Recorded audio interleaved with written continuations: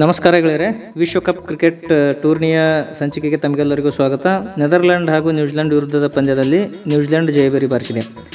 ವಿಶ್ವಕಪ್ ಕ್ರಿಕೆಟ್ ಟೂರ್ನಿಯಲ್ಲಿ ಕಳೆದ ಬಾರಿಯ ರನ್ನರ್ ಅಪ್ ನ್ಯೂಜಿಲೆಂಡ್ ಸತತ ಎರಡನೇ ಜಯ ದಾಖಲಿಸಿದೆ. ಹೈದರಾಬಾದ್ನ ರಾಜೀವ್ ಗಾಂಧಿ ಮೈದಾನದಲ್ಲಿ ನಡೆದ ಪಂದ್ಯಾವಳಿ ಆರನೇ ಪಂದ್ಯದಲ್ಲಿ ನೆದರ್ಲ್ಯಾಂಡ್ಸ್ ವಿರುದ್ಧ ತೊಂಬತ್ತೊಂಬತ್ತು ರನ್ಗಳಿಂದ ಜಯಗಳಿಸಿ ಗೆಲುವಿನ ನಾಗಾಲೋಟ ಮುಂದುವರಿಸಿದೆ.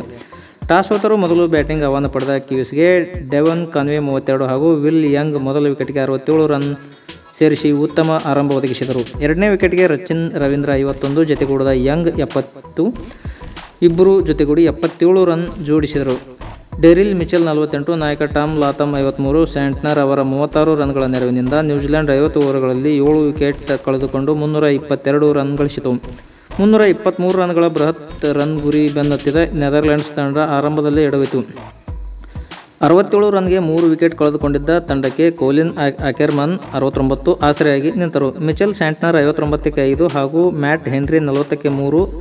ದಾಳಿಗೆ ಬೆದರಿದ ನೆದರ್ಲ್ಯಾಂಡ್ ತಂಡ ನಿರಂತರವಾಗಿ ವಿಕೆಟ್ ಕಳೆದುಕೊಂಡು ಡಿಲಿಡ್ ಹದಿನೆಂಟು, ತೇಜ ನಿಡಮನೂರು ಇಪ್ಪತ್ತೊಂದು, ನಾಯಕ ಸ್ಕಾಟ್ ಎಡ್ವರ್ಡ್ ಮೂವತ್ತು ಸೈಬ್ರಂಡ್ ಎಂಗಲ್ ಬ್ರೆಕ್ ಇಪ್ಪತ್ತೊಂಬತ್ತು ರನ್ಗಳ ಕಾಣಿಕೆ ನೀಡಿದರು. ಕಿವಿಸ್ ಬಿಗಿ ಬೌಲಿಂಗ್ ದಾಳಿಯ ಎದುರು ರನ್ ಗಳಿಸಲು ಪರದಾಡಿದ ನೆದರ್ಲ್ಯಾಂಡ್ಸ್ ತಂಡ ನಲವತ್ತಾರು ಓವರ್ಗಳಲ್ಲಿ ಎರಡುನೂರ ಇಪ್ಪತ್ತ್ಮೂರು ರನ್ ಗಳಿಸಿ ಶರಣಾಯಿತು. ಮೊದಲ ಪಂದ್ಯದಲ್ಲಿ ಪಾಕಿಸ್ತಾನ ವಿರುದ್ಧ ಸೋಲು ಅನುಭವಿಸಿದ್ದ ಡಚರಿಗೆ ಇದು ಸತತ ಎರಡನೇ ಸೋಲಾಗಿದೆ. ಇಲ್ಲಿ ನ್ಯೂಜಿಲೆಂಡ್ ಗೆದ್ದು ನೆದರ್ಲ್ಯಾಂಡ್ಸ್ ಸೋತಿದೆ.